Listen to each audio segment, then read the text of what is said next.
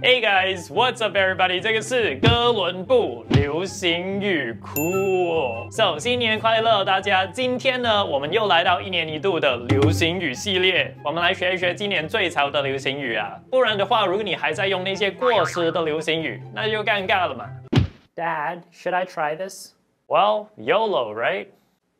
What's YOLO?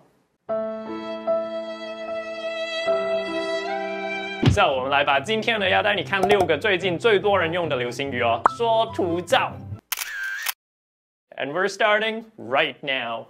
想用十秒钟介绍一下我的四个产品哦。我的发音库课程可以让你讲英文更有自信。我的文法库课程可以让你一次搞懂英文文法。我的流行语库课程可以让你更融入国外文化。最后，我的单字库 App 可以让你轻轻松松的背很多单字。第一个就是这个 mid，mid 呢就是。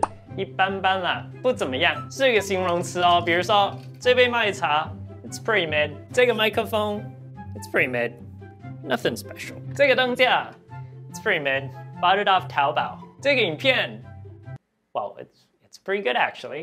Now mid 是哪里来的呢？？Well，，你应该已经有猜到了，mid 就是从 middle 来的，就是中间的意思，就是中间嘛，所以没有特别好，没有特别坏，just mid。然后其实 mid 本来就会在一些字的里面的，比如说 mid size 就是中型的，mid week 就是一周的中间，只是现在大家喜欢直接把 mid 当做一个独立的字来用。OK，接下来呢就是一个很相关的词，就是 midwit，mid 就是中间，wit 就是智慧，所以 midwit 呢就是一个智力普通的人，可是是尤其用来指那些自以为聪明的人。自以为深奥的人，可是说出来的只是一些主流的想法，一堆的鸡汤，那你就可以骂这个人是一个 midwit。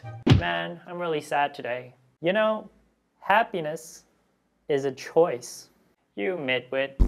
Now midwit 虽然是流行语，但是它也不是那么常听到啦。但是为什么我想提呢？就是因为去年有一个迷音叫做 midwit meme，这个 midwit meme 非常的火红啊。So 它呢就是指说低智商和高智商的人呢常常会有类似的想法，而中间的普通智商的 midwit 呢通常会有一堆的过度复杂的见解。我觉得这很中肯的。我给你一个减肥的 example 哦，吃少一点就好了。生酮饮食、低碳水化合物饮食、十六八。冷冻去脂，哎，吃少一点就好了。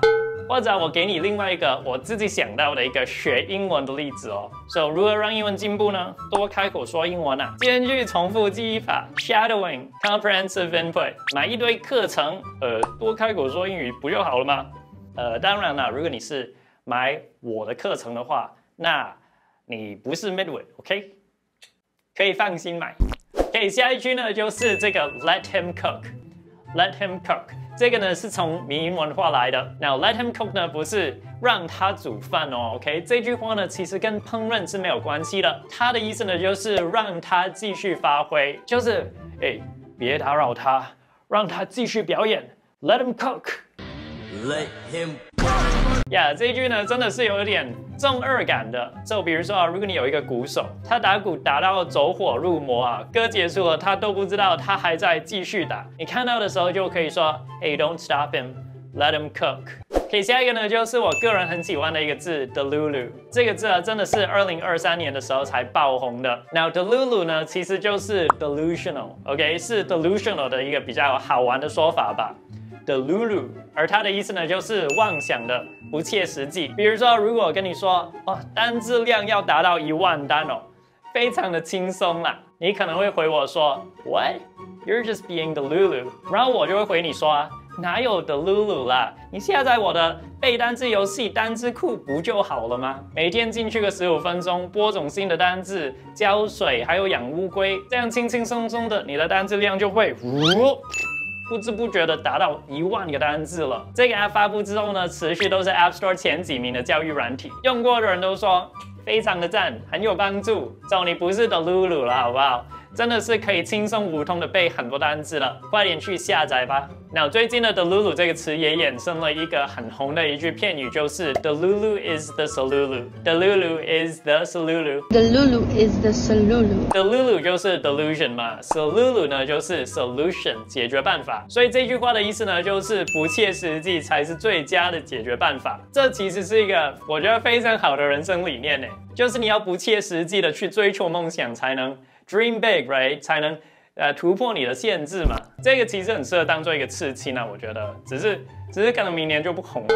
OK，下一个就是这个 The math is not mathing，意思就是有点不对劲。然后 math 就是数学嘛，所以这句话的比较直接的翻译呢，就是这个数学不符合数学逻辑。OK，and by the way，这个 mathing，mathing 不是一个真的字啦，因为 math 是一个名词嘛，怎么可以后面加 ing，对不对？它只是一个幽默的一个新创的一个字。Anyway，这句话呢是用来形容某件事不对劲，有点怪怪的，不太合理的感觉。How old is your son? Sixteen. Oh, and how old are you? Me? Uh, I'm eighteen. 然后啊，虽然这句话好像只是在讲某个数学不对劲，但是也不一定。任何的逻辑不通的地方呢，你都可以说 The math is not mathing. The math, again, I, as I like to say, is not mathing. 最后一个就是 cake。Now cake 呢是蛋糕嘛，大家都知道了。不知道的话，快点去下载单字库好不好？但是现在这个字有个流行语的意思就是大翘臀。OK，so cake 现在呢也可以是大翘臀的意思哦。至于为什么 cake 是大翘臀呢？其实没有人知道，可能两个看起来都很好吃吧。就给你例子吧。这边呢就是 SpongeBob 的 SpongeBob 的大翘臀，你看到呢，你就可以说 Damn SpongeBob，you got some nice cake。